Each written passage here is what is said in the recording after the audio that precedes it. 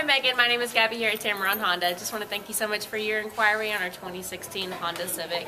We've got plenty of them in stock to choose from. I do want to show them to you in person though, so give me a call at 205-792-9289. Pick out the one that you like the best and take it for a drive. Make sure you love everything about it. Again, Gabby here at Tameron Honda, 205-792-9289. I can't wait to meet you and when you get to Tameron, you're going to love the way you're treated.